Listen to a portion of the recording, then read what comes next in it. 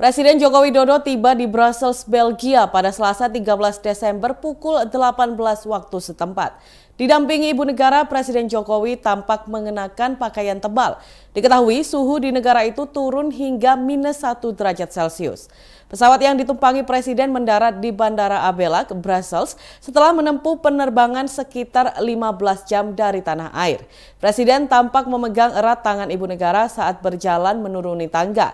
Kedatangan Presiden disambut oleh sejumlah pejabat seperti pejabat Kementerian Luar Negeri Belgia Anne van der Mael, Duta Besar LBBPRI di Brussels Andri Hadi, dan lainnya.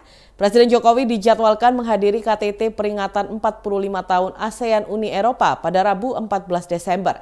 Setelah penyambutan, rombongan Presiden langsung menuju hotel di Brussels. Namun setibanya di hotel tempatnya bermalam, Presiden Jokowi dan Ibu Iriana masih disambut oleh puluhan WNI. Presiden Jokowi akan berada di Belgia kurang dari 24 jam. Setelah seluruh kegiatan selesai, Presiden akan langsung pulang ke tanah air. Diketahui Presiden Jokowi baru saja selesai menggelar acara pernikahan putra bungsunya, Kesang Pangarep dengan Erina Gudono.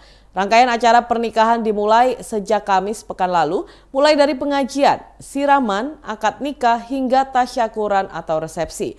Saat pengajian, Presiden Jokowi bahkan tidak ikut karena masih dalam perjalanan dari Cianjur, Jawa Barat. Padatnya agenda Presiden juga terlihat di sela-sela proses siraman Kesang pada Jumat 9 Desember.